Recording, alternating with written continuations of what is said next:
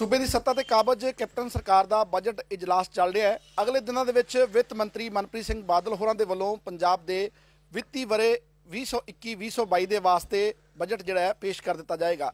ਜਲੰਧਰ ਦੀ sports industry ਨੂੰ ਕੀ ਕੁਝ ਉਮੀਦਾਂ ਨੇ? ਕਿਉਂਕਿ ਸਪੋਰਟਸ ਇੰਡਸਟਰੀ ਦੇ ਨਾਲ ਬੜੇ ਵੱਡੇ ਵੱਡੇ ਵਾਅਦੇ ਕੀਤੇ ਗਏ ਸਨ। ਜੇਕਰ ਪੰਜਾਬ ਸਰਕਾਰ ਕਾ- ਸੱਤਾ ਦੇ ਵਿੱਚ ਆਉਂਦੀ ਹੈ, ਕੈਪਟਨ ਸਰਕਾਰ ਸੂਬੇ ਦੀ ਸੱਤਾ ਦੇ ਕਾਬਜ ਹੁੰਦੀ ਹੈ, ਤਾਂ ਸਪੋਰਟਸ ਇੰਡਸਟਰੀ ਨੂੰ ਵੱਡੇ ਵੱਡੇ ਤੋਹਫੇ ਦਿੱਤੇ ਜਾਣਗੇ। ਜੀ ਸਾਹਿਬ ਜਿਵੇਂ ਅਸੀਂ ਗੱਲ ਆਖੀ ਹੈ ਕਿ ਬੜੇ ਵਾਅਦੇ ਸੀ, ਬੜੇ ਦਾਅਵੇ ਸੀ, ਮੈਨੀਫੈਸਟੋ ਦੇ ਵਿੱਚ 4 ਸਾਲ ਪੂਰੇ ਹੋ ਗਏ ਨੇ। ਲਗਭਗ ਸਰਕਾਰ ਦਾ ਅਖੀਰਲਾ ਬਜਟ ਹੈ।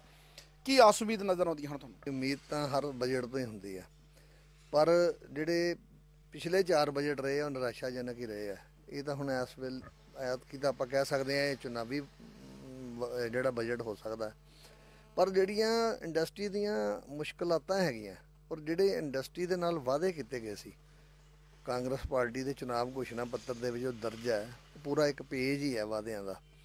ਪਰ ਉਹ ਮੇਰੇ- ਮੈਨੂੰ ਲੱਗਦਾ ਜਾਂ ਤਾਂ ਜਿਹੜਾ, ਉਹ ਇਹਨਾਂ ਦਾ ਘੋਸ਼ਣਾ ਪੱਤਰ ਹੈ, ਉਹ ਇਹਨਾਂ ਨੇ ਖੋਲ੍ਹਿਆ ਹੀ ਨਹੀਂ ਹੈ ਦੁਬਾਰਾ 4 ਸਾਲਾਂ ਦੇ ਵਿੱਚ। ਕਿਉਂਕਿ ਉਹ ਉਹ ਸਾਡੀਆਂ ਸਮੱਸਿਆਵਾਂ ਵੀ ਉਵੇਂ ਹੀ ਆ ਤੇ ਉਹ ਵਾਅਦੇ ਵੀ ਉਵੇਂ ਦੇ ਉਵੇਂ ਹੀ।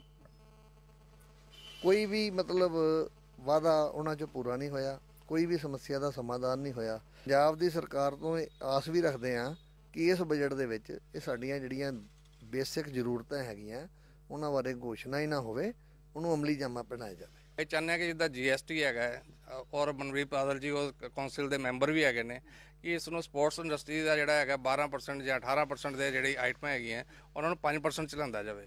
ਔਰ ਬਲਕਿ ਚਾਹੁੰਦੇ ਇਹ ਹੈ ਕਿ ਇਹਨੂੰ ਫ੍ਰੀ ਕੀਤਾ ਜਾਵੇ। ਅਗਲੇ ਵਰੇ ਵਿਧਾਨ ਸਭਾ ਦੇ ਇਲੈਕਸ਼ਨ ਹੈਗੇ ਨੇ ਹੋ ਸਕਦਾ ਸਰਕਾਰ ਕੋਈ ਐਲਾਨ ਕਰ ਦੇਵੇ ਪਰ ਕੀ ਐਲਾਨ ਕੀਤਾ ਜਾਂਦਾ ਇਹ ਤਾਂ ਜਦੋਂ ਸਰਕਾਰ ਦੇ ਬਜਟ ਦਾ ਪਟਾਰਾ ਖੁੱਲੇਗਾ ਉਸੇ ਦਿਨ ਹੀ ਸਾਫ਼ ਹੋਏਗਾ।